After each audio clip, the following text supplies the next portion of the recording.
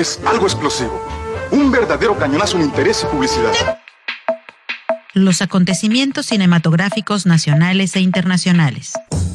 El mejor entretenimiento digital y streaming. Cuéntame del sueño, Claudia.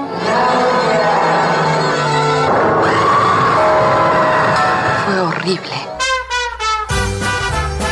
Esto y mucho más puedes encontrarlo aquí, desde la esquina del cine.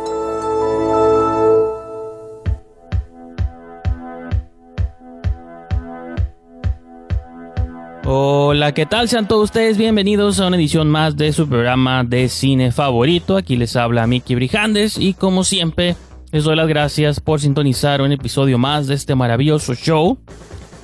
Y cuando digo gracias es en serio, gracias por permanecer ahí, por seguirnos escuchando, no solo este programa que transmite todos los viernes a las 5 de la tarde, sino en general toda la barra de programación de aquí de, de iberotj.fm. Eh, por favor síganos escuchando. Sigan a la estación en sus redes sociales para que se enteren de noticias, publicaciones, eh, recomendaciones para hacer durante estos días. Y pues en general los que siguen este programa, como saben, digo, hablamos de cine.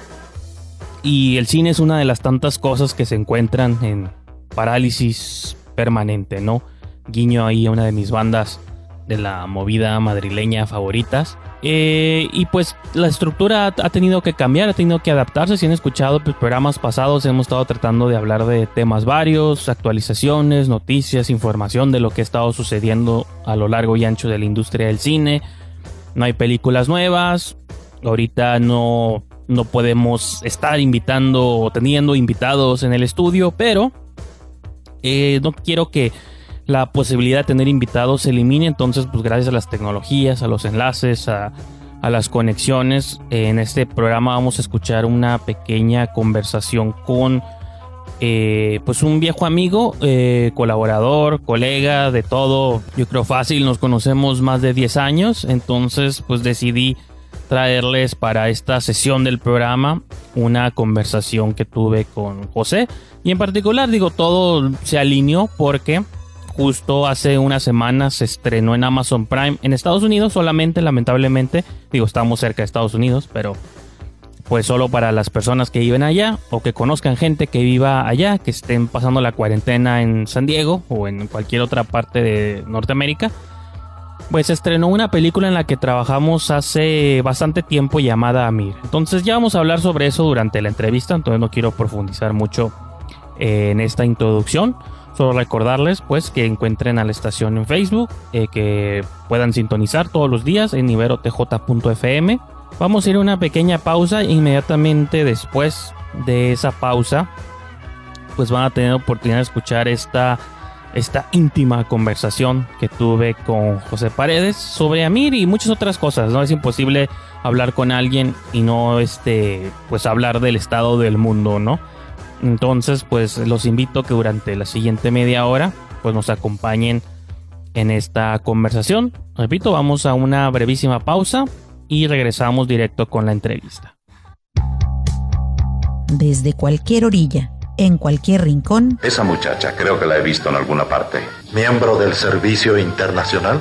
No lo sé, pero es algo que debemos averiguar. La esquina del cine.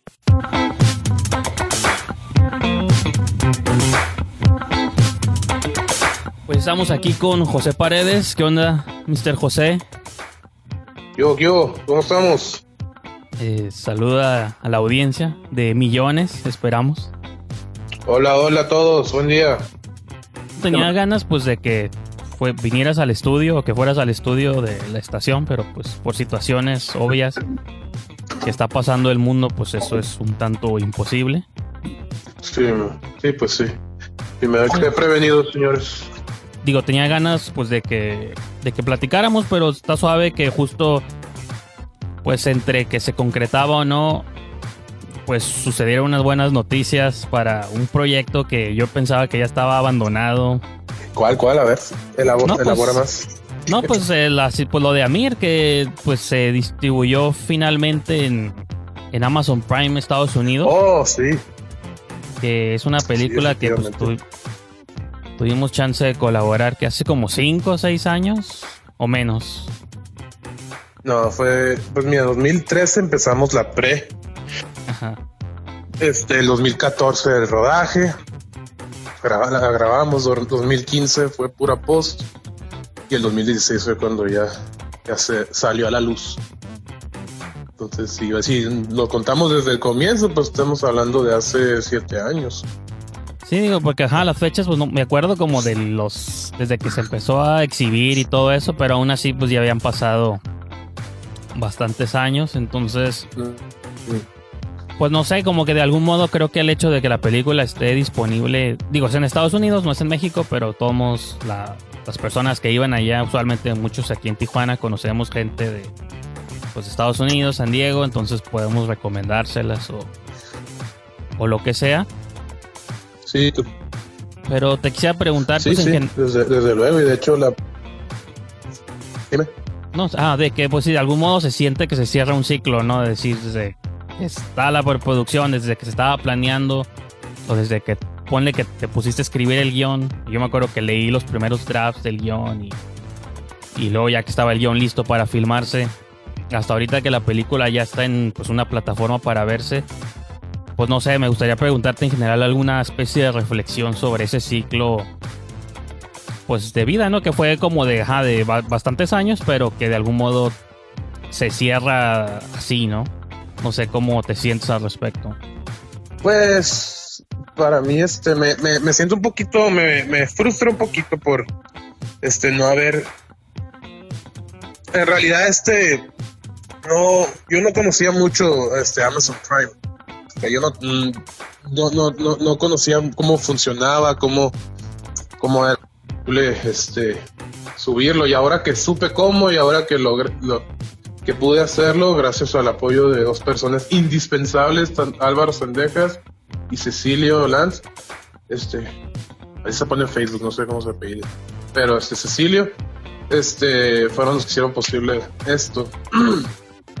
y me, me, me frustra un poco porque este, siento que es algo que debió haber pasado justo cuando, casi casi en el momento en que, en que, en que, surgió, ¿no? Ajá. O sea, es algo, es algo que ha pasado desde ese entonces, pero ahora sí por la ignorancia de uno y porque me fui, este, no sé, pues no, no sé, fue la igno- ignorancia de uno más que nada, pues no, no, no lo procuramos y hubiera sido, hubiera estado suave, ¿no? Sin embargo, pues tenemos la fortuna de que y pues eh, y toda la fortuna de que hay gente que le gustó mucho y pues es un proyecto que al final de cuentas este gustó mucho en Estados Unidos, entonces por ese lado no me pues no me molesta para nada que se muestre por, por el momento exclusivamente en Estados Unidos. Obviamente sí me hubiera gustado que en Tijuana, porque en Tijuana es donde es donde donde tuvo este más más gente que les gustó obviamente. Pero es hay, manera de poder medir eso de que se por qué, por qué no más en algún país y no en el resto del mundo. Hay, ¿Tienes esa información o, o no? Según, fíjate que les acabo de escribir precisamente de eso. Yo, según tenía entendido, me informó otro cineasta de que tenía que ver con las reproducciones. Ajá. Este, tenía que ver con la reproducción, cuántas veces se reproducía el proyecto. Entonces, pues ando viendo, no, no, sin embargo, no me dijo detalles de cuántas reproducciones buscaban Amazon Prime para poder export, para poder este, extenderlo. Sin embargo, ahorita, este, pues ah, precisamente ya les escribía a los de Amazon. No les había escrito antes porque dije, no, a ver, primero hay que ver siquiera si puedo subirlo, ¿no? Y ahora que sé que ya puedo subirlo, es cuando ya, ya, ya dije, ya, ya quiero este, extender más el producto, ¿no? Entonces, eh, pues, y, pero pues ya, ya cuando me responden, pues ahí vamos a ver qué, qué podemos hacer, ¿no? Porque, y pues digo, parte de la reflexión es eso, es, es que por primera vez en mi vida, este, yo he sido un cineasta independiente toda mi vida, no toda mi vida, pero todas, mi- todas las... por Desde que años. naciste con Desde una que cámara. nací un cineasta independiente, güey, sí. De hecho, nací, salí de allá con una cámara, no sé cómo lo hizo mi jefa. No, pero, este, sí, entonces, este, yo, pues, sí me he hecho productos independientes y obviamente se enteran por mí, la gente los veía por mí o me asociaban por mí. Pero con Amir fue muy raro porque llegó un punto donde ya la gente ni sabían quién era yo, ni sabía quién era yo. Pero se, enteraba, se enteraron del proyecto y, e iban a la cineteca, porque él estuvo en cartelera por 11 días, iban a la cineteca a verlos. Y, y eso me, eso para mí me, me gusta más, porque a mí no, no me importa que sepan yo lo dirigí o no, lo que me importa es de que el público pues se identifique y les guste el proyecto, ¿no? Y, sí, hay mucha gente, muchísima gente, porque este, a- como parte de la distribución usamos Facebook, pagábamos publicidad, y en la publicidad había gente que yo ni en mi vida he escuchado, y todos hablando de película, que quieren ir a verlo, etiquetaban a sus amigos, que vamos a verlo, vamos a verlo. Hey, Fermín, yo que es Fermín, en mi vida he escuchado de Fermín. Pero qué bueno que... Este, Nomás vamos a ir a, a una pequeña pausa y continuamos más aquí con José Paredes. Perfecto. Ibero TJ Radio, tu alternativa de sonido en un mundo lleno de ruido.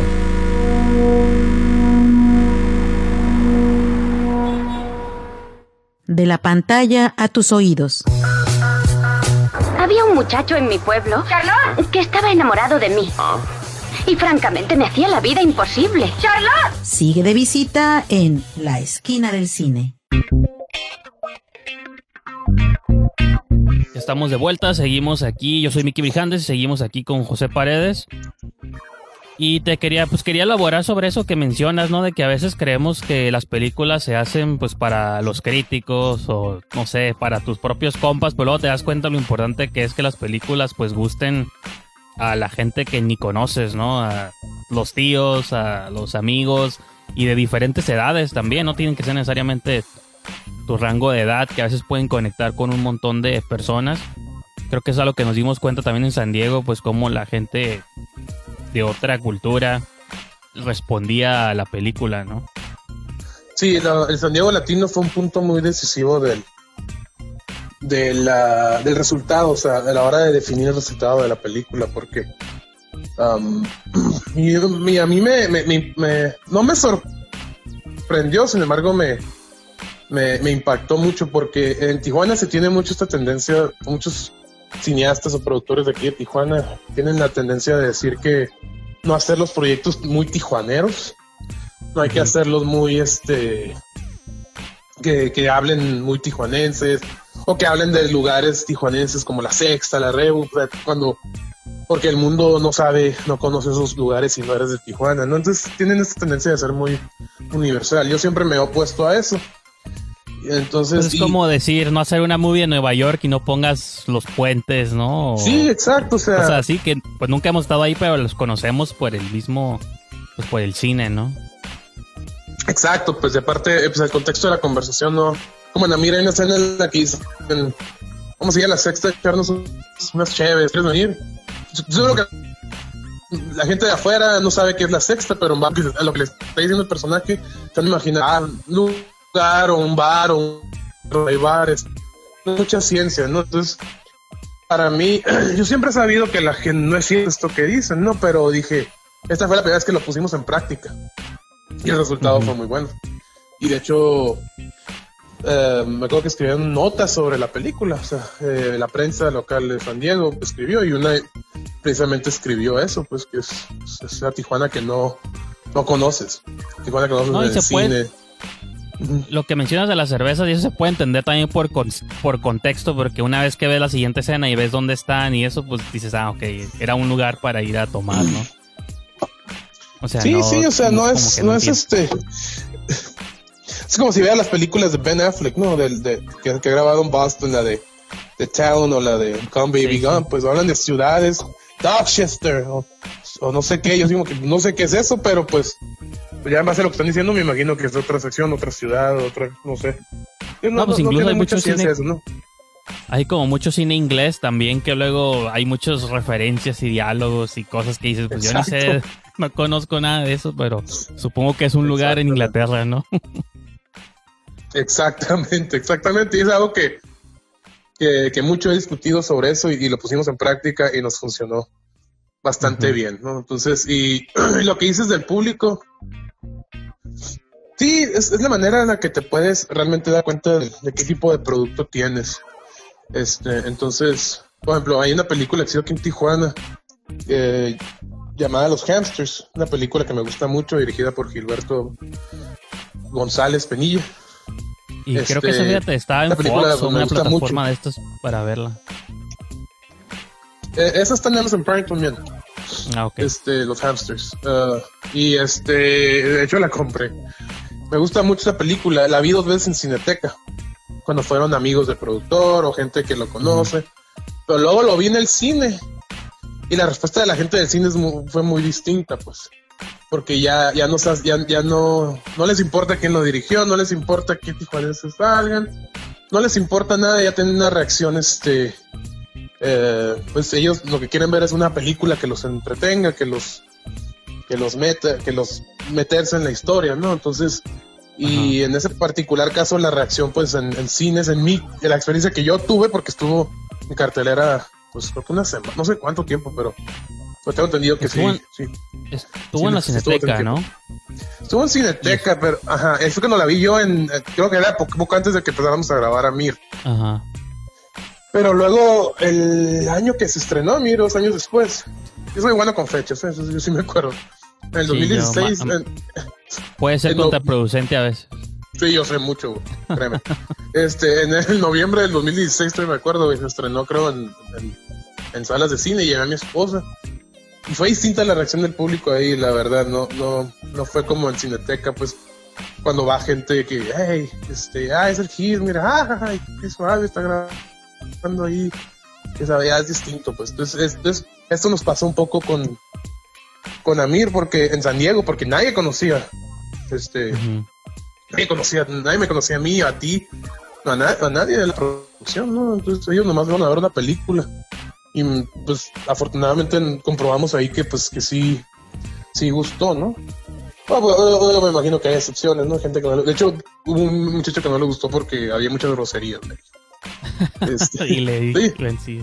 Aquí no se puede decir groserías, pero Ya sé que no, pero y le- y le adver- les advertí a todos antes de que empezara la función, pero pues por lo visto no fue suficiente. es que digo, es donde sigo viendo yo como toda esa influencia que mencionas, pues del cine americano, que, o sea, las películas de Kevin Smith y eso dicen como cada tercer palabra es una grosería, dices, pues, ¿qué tiene de malo, no? Es como parte de cómo habla la gente, pero a veces, pues, se sacan de onda como si en la vida real la gente no hablara así, ¿no?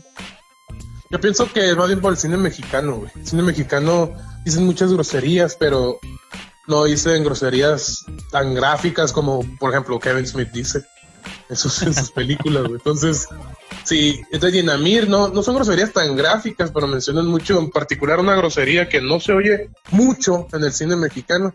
Y aquí lo dicen Sí. cada cinco minutos o cada... Y, el, y eso fue lo que le saltó mucho. Y pues sí, este muchacho me dijo que no me identifiqué porque dicen muchas groserías. Y dije, ah, ok, no, no, está bien, gracias por venir. Pues, ¿qué le digo? Gracias por venir, eh, este- vete, ¿no? ya ponle.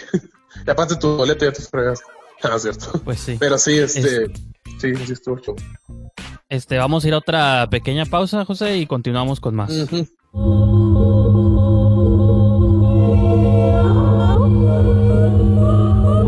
Voces que hacen sintonía con cada composición. Ibero TJ.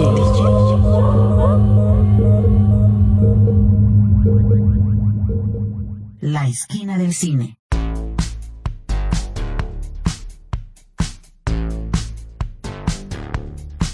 Estamos de regreso aquí con José Paredes, seguimos platicando pues sobre pues se ha orientado mucho a Amir, pero lo mejor para este traerlo un poquito más al presente. Y ahorita que mencionabas lo del San Diego Latino, pues no sé cómo cómo viste o cómo recibiste las noticias de bueno, eso fue como la primera señal que vimos, ¿no? Cuando se pospuso el San Diego Latino, porque es un festival que vamos casi religiosamente. Y este año, Sí. pues cada año hay cortos o películas de cineastas que conocemos. Y pues me acuerdo que, pues cuando vimos la noticia de que se pospone y hasta nuevo aviso, como que empezamos a darnos cuenta de lo que iba a empezar a pasar con el resto del mundo, ¿no? Pero, pues sobre la importancia primero de ese festival y pues cómo, cómo viste tú toda esa información.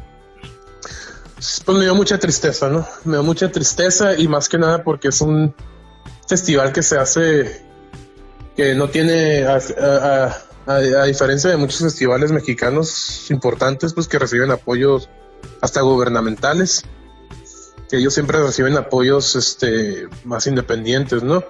Y son los del Media Arts Center en San Diego que lo realizan. Y me dio mucha tristeza porque, de hecho, vi una notificación que dicen que, pues, el festival es, es una de las fuentes por las cuales se mantienen, ¿no? Y eso les da oportunidad de seguir cada año. Entonces, cuando esto pasó, pues me preocupé, ¿no? Porque es algo que pues, es una crisis que está afectando la economía de mucha gente, independientemente de tu ramo profesional, ¿no?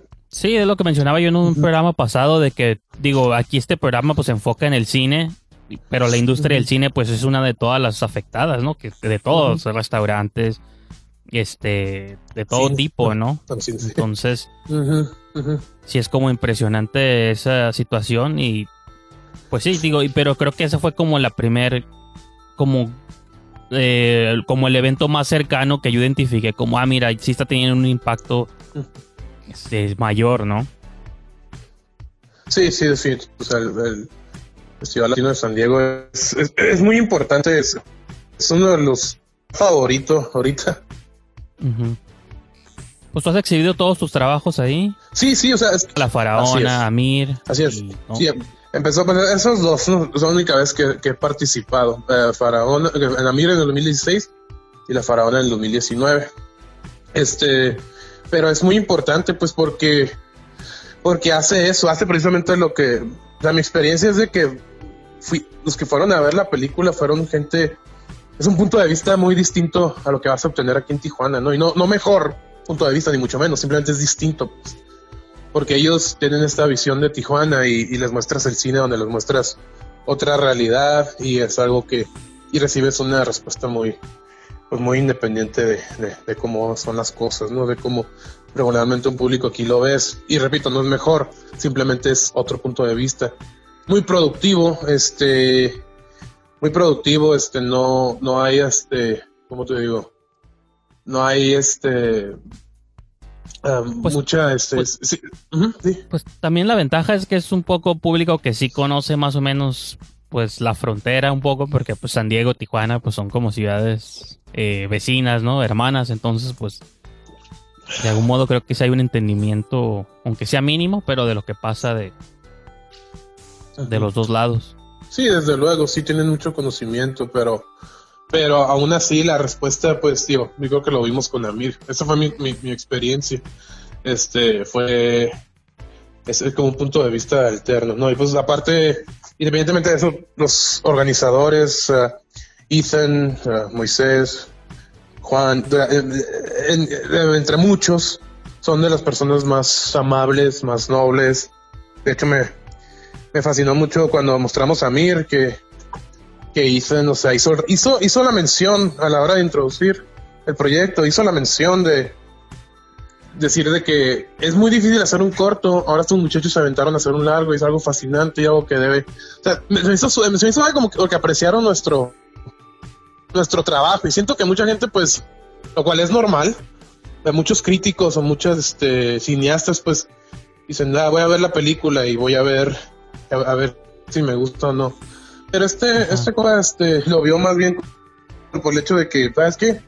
Puede que la película esté buena o no, pero en sí me tiene su mérito haberla hecho y, los felicitamos, ¿no? Incluso, y se me hizo muy, muy, muy, muy, muy, muy buena onda de parte de ellos, pues, y repito, muy noble por parte de ellos. Entonces, es, es, es, es un festival que es muy noble en ese sentido, ¿no? Entonces, cuando me enteré que se pospuso, me, me dio mucha, pues sí, me, dio mucha tristeza, ¿no? Obviamente me sentí mal porque los proyectos de Tijuana se iban a mostrar, entonces, en especial uno que no se ha, no se ha, mostrado aquí en Tijuana, este, bueno, se mostró en el, en el CEAR, pero fue muy pequeña la... la el del Fischer, pero el de Fischer, el de Fernando Fischer, el de Perturbado, este, ese en particular, o sea, pues es mi amigo pues Fischer, ¿no? Entonces obviamente me contó su, su, perspectiva y sí estaba muy, muy triste, ¿no? Pues hasta sale el, el Amir como mecánico, ¿no? ah, sí. fue, la, fue, fue, de las actuaciones más alabadas del proyecto, ¿no? Porque lo cual es sorprendente considerando que el feature no es este actor profesional, ¿no? Pero todos en general los alabaron. Solo que el, el feature fue como el. Pues no fue. No sé si llamarlo comic relief. Pero es este. Pues un poco sí, Pues sí, pero calmaba un poco la sala, porque, por ejemplo, una escena que la Mir le pide dinero y no, pues no es necesariamente una escena, una escena cómica, pero la energía en sí del feature lo hace así como, como, como simpático las escenas. Entonces, porque el Amir es, por lo general es un, es drama, ¿no? Es un drama con momentos de comedia, pero es un drama y todos, o sea, los, eh, al final son afectados dramáticamente, pero el personaje de Peter se mantiene siempre como este, este humor, este, esta simpatía durante el proyecto. Entonces yo creo que eso resaltó mucho y le dieron muchos, lo, lo felicitaron mucho a la hora de salir. Pero pues sí, ahorita Fischer está muy triste por, por eso, ¿no? Por lo lo que pasó con el festival. Y yo a mí también me dio tristeza, pues. En sí por el festival, pues no, o sea, no solo por Fischer o por los demás que están mo- mostrando, sino por el festival en O sea, sí. pues. había cortos de quién, de Marlon Morales, de Diego, este, Rodrigo, de Rodrigo Rodrigo Álvarez, Álvarez. perdón. Entonces, y no me acuerdo que Ajá. otros tantos de aquí de Tijuana, ¿no? Entonces, Sí, sí, sí. sí, Y- este, eh, vamos a ir a una, una pequeña pausa y continuamos hablando del tema. Ibero DJ Radio, con un sonido único, que solo encontrarás en Avenida Centro Universitario 2501 en Playas de Tijuana. Experimenta con la emisora de la Universidad Iberoamericana Ciudad de México, Campus Tijuana. La alternativa es Ibero DJ Radio. Lucha es luchando. No seas aprovechada, Pantera. ¿Por qué no luchas con alguien que te rompa la cara? ¿Por qué no subes tú? La esquina del cine. El lugar que todo amante del séptimo arte buscaba.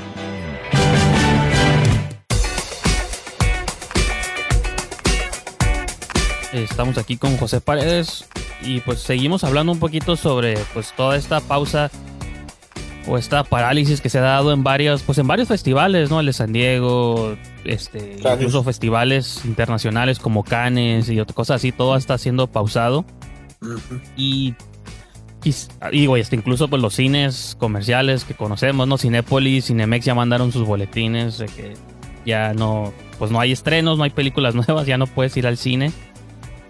Eh, Cine Tonalá estás lanzando una campaña de apoyo porque también están en, pues, en una especie, y igual que el Digital Gym, ¿no? Como son cines todavía más chiquitos, pues están como en una crisis ahí todavía que puede desaparecerlos, ¿no? Entonces no sé tú como cineasta cómo, y como fan de ir a las películas, cómo analizas o cómo evalúas toda esta situación.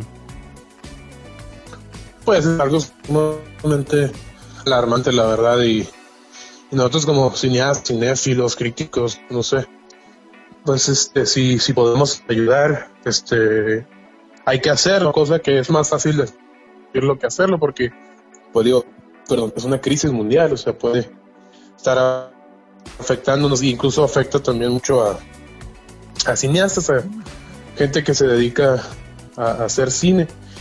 O sea, digo, no, no, no, no sé para qué producciones se pararon hasta donde yo sé, según tengo entendido que todas las producciones se pararon, entonces Sí, es que luego incluso ya hasta, tampoco hay ventanas. se paró.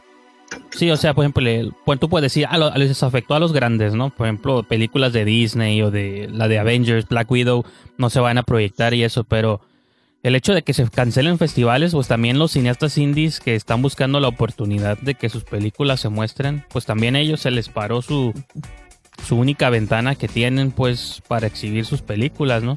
Como mencionas tú lo de Fisher, sí. O sea, tú dices, pues yo mandé mi corto, quedó, está suave, lo vamos a proyectar y para que a la mera hora, por una situación que no está en tus manos, pues no se puedan proyectar todas estas películas.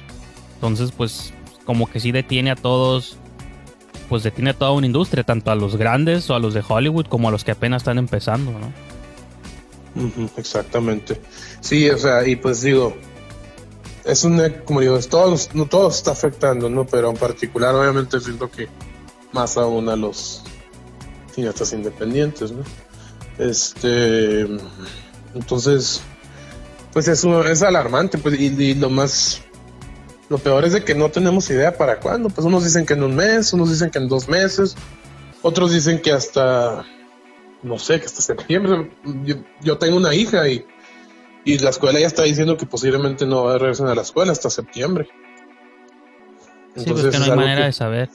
Sí, no hay manera de saber. Entonces, cineastas que viven de esto, pues, no, no saben, pues, no, no, es, es una situación muy difícil en la que están, ¿no? Este, sin embargo, si no estás en una situación así, o tienes la, la, la manera de apoyar estos, estos espacios, sí, sí, este sí, les recomiendo que lo hagamos, pues. De hecho, te mandaron una carta a los del San Diego Latino ayer, pues que están siendo muy optimistas al respecto y que quieren y que están, están planeando, o sea, obviamente están, plan, están planeando nuevamente el festival para más adelante, pero... Ajá, pues originalmente habían anunciado que para el otoño, ¿no? Que es muy general, de fall, ¿no? Pero pues dices, puede ser cualquier mes de, pues del último, pues de los últimos meses del año, pero pues no se sabe, como dices tú, Es, es una moneda al aire, ¿no? Te basas más o menos como en lo que están haciendo los estudios grandes, ¿no? Que están posponiendo sus películas eh, anunciaron ayer o antier que Wonder Woman se pasaba de junio a agosto. Dices, bueno, son dos meses, pero por ejemplo, películas como La Rápido y Furioso la pasaron hasta abril del 2021. Entonces dices, ok, ¿por qué tanto tiempo después, no? A lo mejor saben algo que nosotros no sabemos, entonces. Exactamente. A lo mejor, ahora gente un poquito más, pues no sé si realista sea la palabra, pero más extremas, más precavidas, ¿no? Entienden que esto va para largo.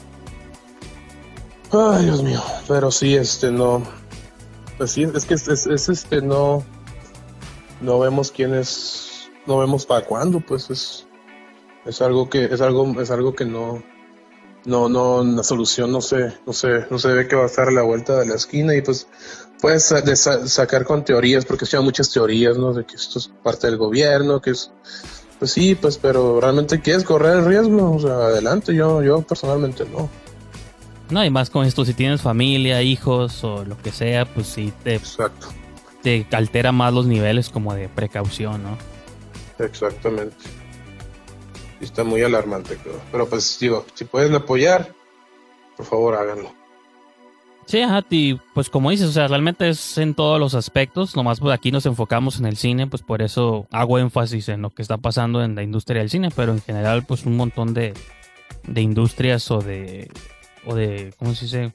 Y compañías, comercios, trabajos, todo el mundo está siendo afectado de diferentes maneras, ¿no? efectivamente. Y pues nomás digo, vamos, bueno, ¿te parece? Vamos a ir a nuestra casi nuestra penúltima pausa del programa y regresando pues este platicamos un poco más sobre otros otros temas.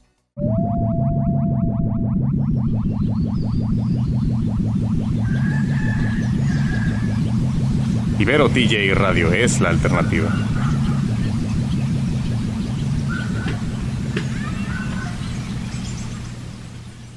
La esquina del cine.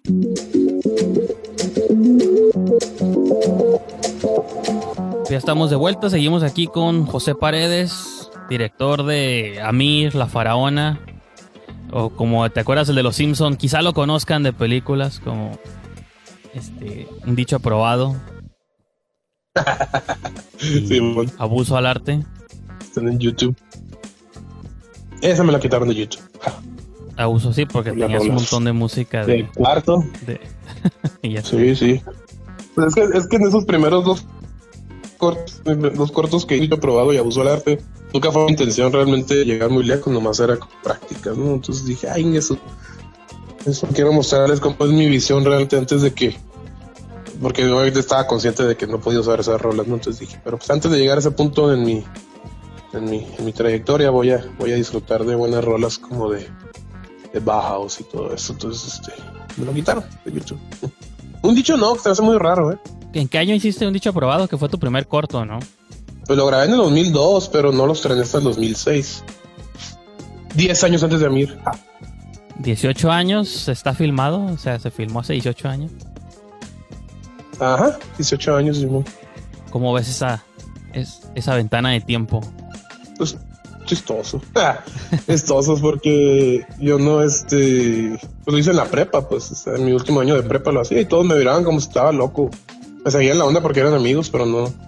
Pues en ese, entonces no estaba tan activo el cine en la prepa, en la Lázaro. No, ni en Tijuana, ni en Tijuana tampoco. O sea, había como cada. Bueno, pues sí había, no, sí había, pero pero muy leve. Ajá, visto, muy leve. Pues bien, porque sí había cineastas desde muchos mucho antes, ¿no? Y había pasado Bola 8. Sí, pues en la UABC hay cosas así, pero pues no como ahorita que todo el mundo. Pues Exactamente, ¿no? Entonces me veía como que estaba loco, ¿no? y, y este y en el Lázaro, pues digo, ya había pasado Álvaro Sendejas y, y no sé quién más, pues, a excepción del Álvaro, no sé previo a mí quién, quién, quién había hecho ahí en la prepa, ¿no? En ese entonces. Pero no, no, no me, me miraban como si estaba loco, ¿no? Y, y, y, cuatro años después de haberlo grabado les dije, hey, la voy a estrenar. y ahí fueron. Pero la estrené junto con mm, el siguiente corto Abuso al Arte y luego cuarto, eh, ese el cuarto sí está en YouTube. Pues nomás, ahora sí que para ver hacia el futuro en lugar del pasado, no sé si quieras comentar brevemente si estás trabajando en algo, si tienes por ahí, digo, yo conozco ciertas cosas, pero no las quiero decir porque no sé si son de conocimiento público o no, pero en general la, la información que guste compartir, joven, este, sobre qué proyectos traes en mente, qué estás trabajando, qué sigue para el señor José Paredes. Pues mire, soy suelo ser un poco discreto sobre los proyectos que están en, en, a la mitad. Cuando están en postproducción es cuando ya, ya, empiezo a, dar detalles, ¿no? Pero, pero sí, efectivamente estamos trabajando en un, en un, en un, en un proyecto este, que también fue afectado pues por, por esto crisis, ¿no? Porque lo detuvimos, ya, ya habíamos grabado como yo creo un 75% del proyecto. Y pues esto jaló la ploga y así como que, ah, ya vas, ya te faltan, faltaban las escenas más interesantes, pero no, me jalaron la... Y de por sí ya lo, íbamos a, íbamos a hacer una pausa porque las venían las vacaciones de Semana Santa, en abril. Pero con esto pues dijimos, ah, pues antes de abril hay que grabar, ¿no? Lo más que podamos y mocos. Pasó esto y ya nos quedamos ahorita así con con el 75% y pues vamos a trabajar en el 75% y pulir 75%, editar, todo eso. Pero pues, pues, no es lo mismo, pues sí. Pero ahí, ahí estamos todos todavía en contacto y pues este cuando ya, ya acabemos oficialmente el proyecto es cuando ya voy a dar un poco más de más de detalles. Ok. No, pues digo, está, está bien, tú sabes que continúen todavía pues ahí Porque luego también a veces pasa de que luego muchos cineastas hacen una película y pues ya nunca más vuelven a hacer otra, entonces pues me da gusto que continúe ahí la producción. Que ya habías hecho un corto, ¿no? Hace el año pasado, pero de todos modos no es lo mismo un corto que una, Exactamente. Hice, hice, un largo, corto, La Faraona, que fue como una carta de amor a la, a la, a la prepa, a la Lázaro. Es que la preparatoria Lázaro Cárdenas, donde estudié, fue como muy influyente para mí, en, en, mi vida personal, como vida de cine. O sea, ahí conocí a mi cuñada y ahí conocí a mi esposa. Entonces, o sea, en muchos sentidos, le debo mucho a esa escuela. Entonces, fue una manera así como de. Porque está muy rara la manera de darle, de, demostrarle mi amor, ¿no? A través de una leyenda de una bailarina sin cabeza, pero, pero se me hizo suave, ¿no? Y eso lo hice en el Inter, pues mientras, mientras levantábamos el proyecto y, y, sí, estuvo fin de semana lo grabamos y también San Diego Latino participamos y para sorpresa de todos ganamos.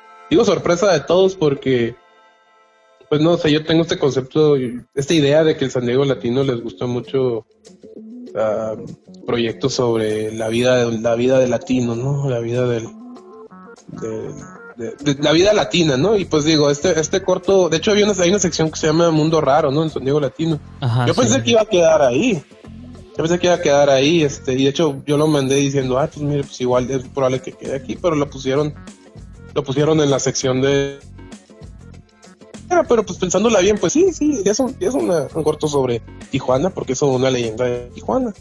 Entonces, eh, y pues afortunadamente pusieron esa sección y también salimos, salimos galardonados y, y pues muy contentos, la verdad. Este, pero y sí tuvo sus retos, pues desde luego, ¿no? Pero pues digamos que fue un, un warm-up para, para este proyecto. Y pues José, tengo que dejarte ir ya, entonces pues nomás quisiera hacer la pregunta obligada en estos tiempos de si tienes alguna red social, una página, un sitio donde quieras que la gente te siga, pues para estar enterado de todas tus todas tus este, fechorías, tus proyectos, todo lo que sea, no sé qué quisieras este, aquí mencionar. Por el momento no, este, ando muy, ando relativamente desconectado. Yo lo, único que por el momento estuve así como promocionando es precisamente a Mir en Amazon Prime, pero por el momento estoy callado, estoy calladito, pero digamos si, si esto se resuelve pronto lo de la crisis, pues pronto ya, ya, ya este ya haremos, daremos a conocer el, el proyecto nuevo. Pues sí, entonces por lo pronto lo mejor es eso, ¿no? Las personas que tengan acceso a Amazon Prime Estados Unidos o que conozcan gente allá, pues que visiten este la pues que recomiendan a las personas a que la, la, vean allá y que pues se la recomienden a otras personas, ¿no? Que ahorita que van a pasar mucho tiempo en casa, pues que aprovechen para verla, ¿no? No hay excusas. Exacto. Entonces, pues José, gracias por habernos acompañado y pues ahí nos estamos escuchando pronto. Dale, gracias a ti, Miki. Saludos a todos.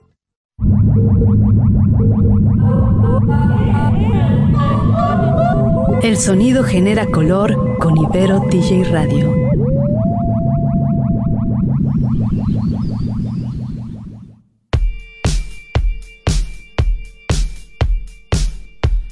Ya estamos de regreso aquí nomás para despedir el programa. Gracias por haberme acompañado en esta sesión, por haber escuchado esta entrevista con José. Espero que, pues como lo estuvimos mencionando a lo largo de eh, del segmento, si tienen oportunidad o conocen personas en Estados Unidos que tengan eh, la plataforma o la aplicación de Amazon Prime, pues siéntanse libres de checar la película Mir y dejarnos comentarios. Digo, pueden dejármelos a mí en Twitter, en Instagram, en, TikTok, en donde quieran. Digo, siempre les menciono lo mismo. Pueden encontrarme en Diagonal Brijandes o en arroba Brijandes. En todos lados casi soy el mismo. En general, los invito a que lo mencionaba en el tope del show. Manténganse pendientes a todo lo que está publicando la estación, a todos los programas. Estos, estos shows durante este tiempo no están siendo transmitidos simultáneamente en Facebook Live como solíamos hacerlos. Pero de todos modos pueden eh, seguir a la estación en Facebook para que se enteren de, de noticias y otros datos de información. Entonces, pues una semana más. Este, la siguiente semana, pues comienza en unos cuantos días y así nos la vamos a llevar hasta que veamos el fin de esta de esta cuarentena forzada, ¿no? Esperamos y nomás pues vean películas, es lo único que se puede hacer.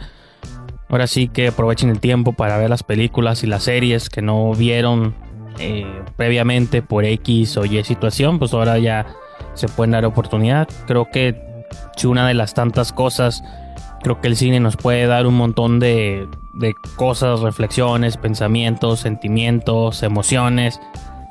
Pero al final no se nos olvide que una de las funciones esenciales del cine pues es también hacernos pasar el tiempo, quizá olvidarnos un poco de ciertas cosas.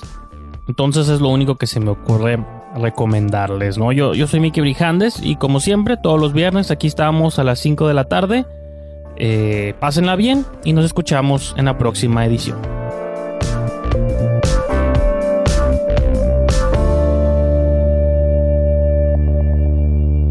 ¿Ella puede volar? Solo está alardeando. No es tan impresionante. Tienes que subestimar todo lo que yo hago. Nos escuchamos en la próxima función. La esquina del cine. Solo por Ibero TJ Radio. Una producción de Mickey Brijandes. Corte y queda.